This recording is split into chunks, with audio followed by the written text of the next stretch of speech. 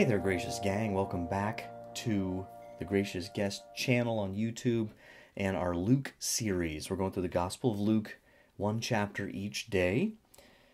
And uh, we're going to go through Luke chapter 14 today. But before we do that, please make sure you subscribe to the channel. Click the little thumbs up down there. Uh, the little bell to get notifications is good too.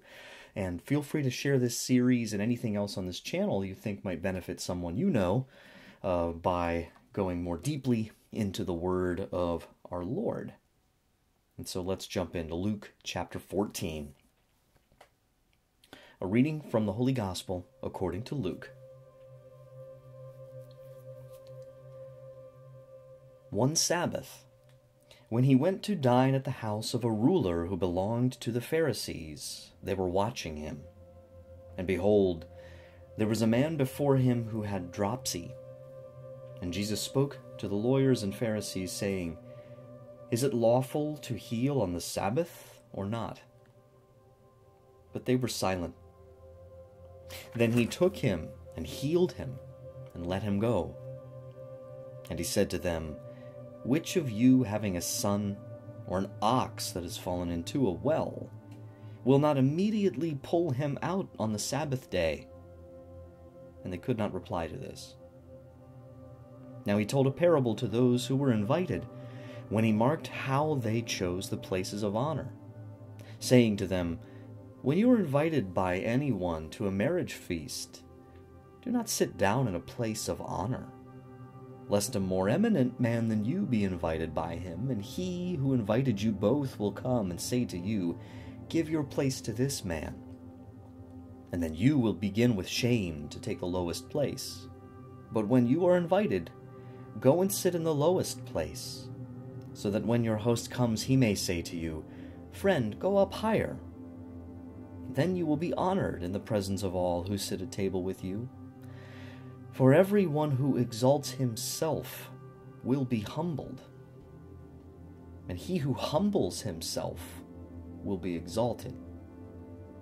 He said also to the man who had invited him, when you give a dinner or a banquet, do not invite your friends or your brothers or your kinsmen or rich neighbors, lest they also invite you in return and you be repaid.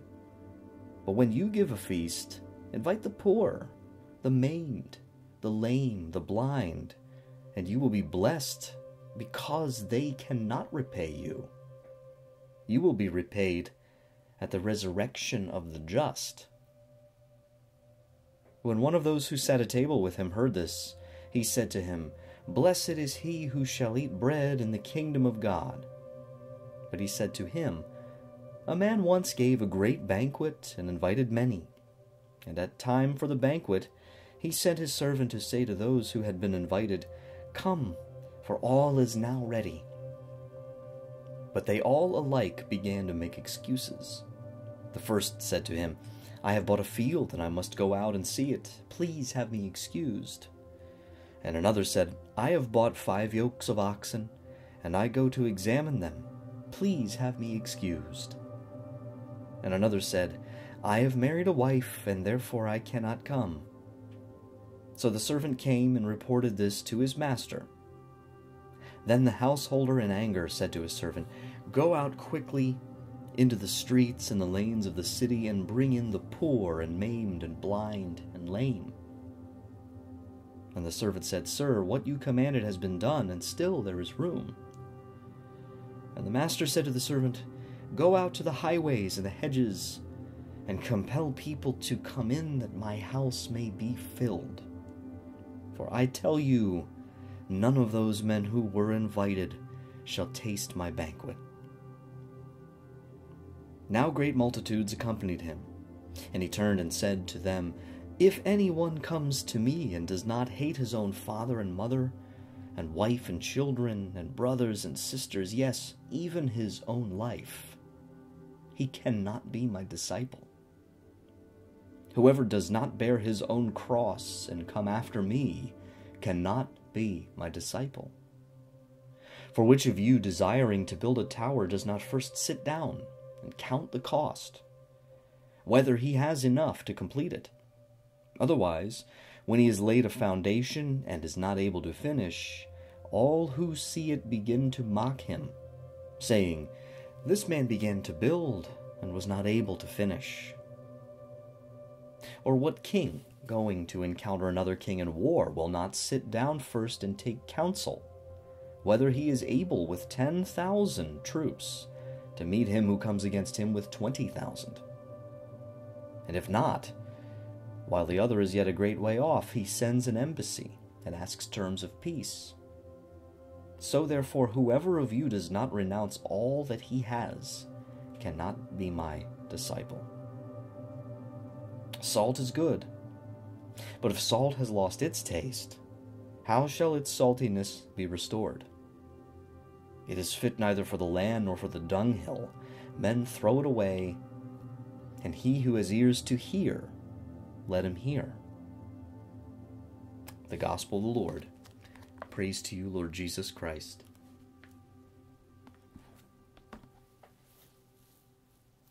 As usual, there's a lot in there.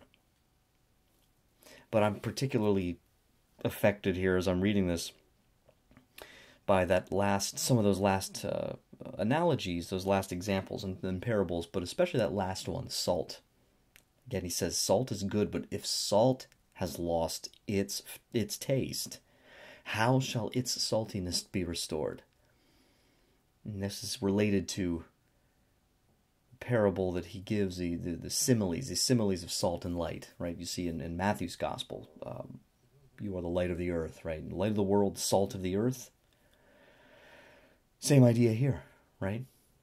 That we, Christians, are to be the seasoning, the salt, the light, the leaven, whether we're in academia or industry, technology sector, the, you know, active paid ministry, you know, whatever the case may be, whether we're attorneys, stay at home parents, police officers, grocery store clerks, it doesn't matter. That every one of us is called by Christ to be the, this flavor, this, this renewal of the world that the kingdom of God is here now. It's it's got a foothold in this fallen broken world. There's something every one of us can contribute to that. And and what we do is we contribute by getting out of his way. Um, by offering our Lord our own uniqueness, our own complete unrepeatable nature. There's something he's doing in and through you that he can't do through anybody else. That's why you're here. If he didn't need you as part of this story, you wouldn't be here in the first place. So take heart wherever you're at today, whatever you're going through, whoever you are, you are important. Don't forget that. And God bless you. We're going to conclude with Our Lady of Czestochowa prayer in the name of the Father, of the Son, and of the Holy Spirit. Amen. Holy Mother of Czestochowa, thou art full of grace, goodness, and mercy. I consecrate to thee all my thoughts, words, and actions, my soul and body. I beseech thy blessings and especially prayers for my salvation. Today I consecrate myself to thee, good mother, totally with body and soul, amid joy and sufferings, to obtain for myself and others thy blessings on this earth and eternal life in heaven. Amen. In the name of the Father, and of the Son, and of the Holy Spirit. Amen. God bless you. I'll see you next time for Luke chapter 15. You don't want to miss it. Take care.